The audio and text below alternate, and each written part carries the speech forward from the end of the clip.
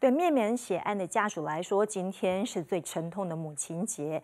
祖孙三个人被发现沉尸在卧室，警方估计死亡时间已经超过一周。而警方今天上午就在殡仪馆相验遗体，厘清三个人的死亡原因。不过附近的邻居也透露，死者一家人曾经为了遗产撕破脸，还看到男童的脸上有淤青，疑似在生前遭人虐待。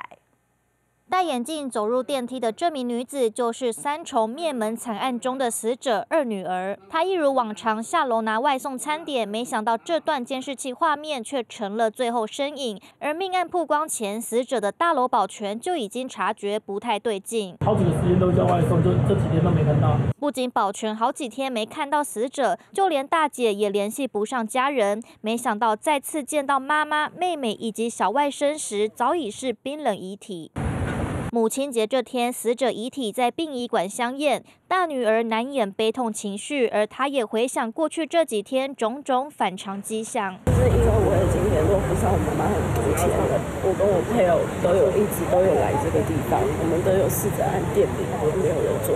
命案发生的大楼就在新北三重高级地段，附近租金高达四万行情。二十九岁的二女儿和六十九岁的外婆以及三岁的孙子同住，但一家人的职业却相当神秘，对外都供称无业。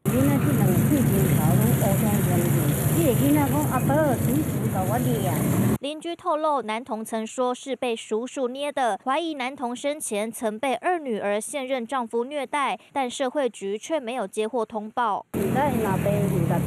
保险，我我都领三百万，到尾领三百万就是阿妈甲舅妈这个盖大这个公积金啦。根据了解，在父亲过世后，大女儿担心父亲有欠债，选择抛弃继承，却发现还有三百万遗产由妈妈和二女儿平均分配，疑似因为这样，姐妹撕破脸，渐渐没了联络。大女儿听闻噩耗后悲痛万分，就算吵得再凶，还是骨肉至亲。尤其在母亲节前夕痛失三名亲人，要大女儿怎么接受？记者综合报道。